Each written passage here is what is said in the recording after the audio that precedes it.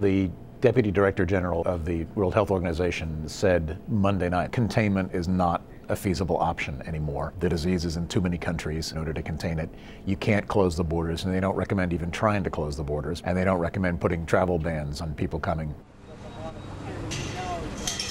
Closing the borders virtually never works. If we're going to put people on the border asking people how they feel, we might as well put them on the East River saying, Are you from Queens? You know, do you have a temperature? It's much too transmissible. People do go over borders. Time to do what they call mitigation instead of containment.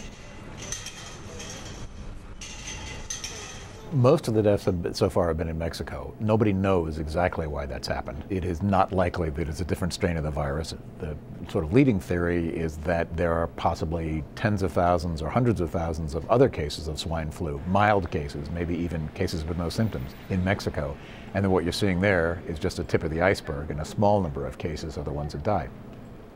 Another thing that may have happened is that in the beginning days of this epidemic, which probably started at least in March, a lot of people went to their doctor. They had no idea that there was an unusual swine flu, so the doctor would say, I think you've got flu, go home and rest and you know, take regular flu medicine. So people went home, but instead of getting better, they died. So you can get a spike in cases that way. Every case has a sort of multiplier effect, which is that one person goes on to infect two people, who go on to infect two people each, so you get four, and it climbs again and again.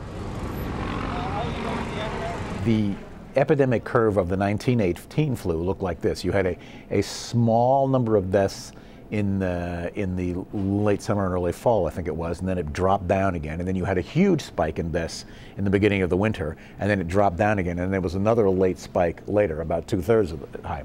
And what you're trying to do with mitigation is basically smooth out that epidemic curve, which is the number of cases and the onset dates so that you don't have these high spikes. High spikes means lots of cases, lots of people going to the emergency room. You want to delay it. That's shifting the curve to the right by using measures like hand washing, staying home when you're sick, and eventually possibly wearing masks and closing big events, things like that that keeps people apart from each other during the outbreak. You can stretch out the number of cases. And when you do that, one advantage is that you push the flu into the hot weather. Tr flu does not transmit as well hot weather. Also, you buy more time. If we can just slow down the transmission of cases, we might get to the point where a lot of people can be vaccinated. Instead of the giant swelling of cases and the sharp uprise of the curve, you uh, you can slow it out considerably. And then ultimately you end up with total fewer cases overall, which means you've saved lives.